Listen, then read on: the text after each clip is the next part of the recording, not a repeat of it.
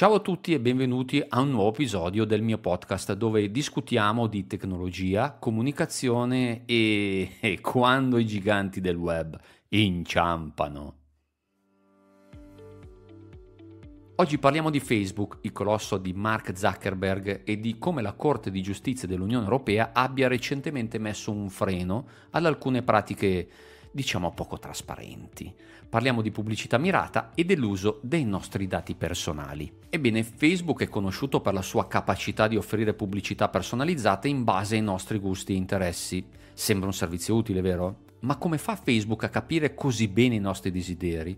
Non è magia, è tecnologia e tanti tantissimi dati personali. Tuttavia qui la questione è etica. Infatti non sempre abbiamo dato il nostro consenso chiaro a questa raccolta di dati per fini pubblicitari. La Corte dell'Unione Europea ha deciso che questa azienda non può utilizzare indiscriminatamente i dati personali degli utenti, specialmente quelli sensibili, per fini pubblicitari.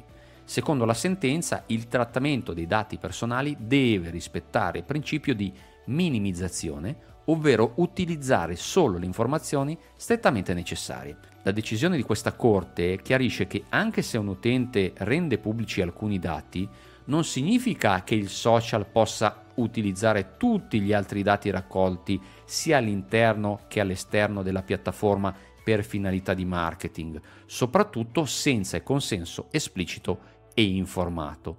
Questo caso si inserisce in una più ampia discussione sulla protezione dei dati e i diritti digitali degli utenti, con implicazioni per tutte le piattaforme online che raccolgono e sfruttano i dati personali per guadagni commerciali. E qui Facebook ha ricevuto un bello stop. Questo non è il primo caso in cui la piattaforma è stata criticata per la gestione dei dati, ma è uno dei più importanti a livello di privacy. Infatti, Facebook non è nuovo a problemi con la legge, pensiamo solo agli scandali come Cambridge Analytica, dove milioni di dati personali sono stati sfruttati senza che gli utenti ne fossero consapevoli. E quindi ora l'azienda sembra ancora una volta non aver imparato la lezione. Ebbene, questo verdetto, oltre ad essere una vittoria per la privacy degli utenti europei, potrebbe avere un effetto a catena in futuro altre piattaforme dovranno essere più trasparenti e ottenere un consenso reale prima di trattare i nostri dati per finalità di marketing.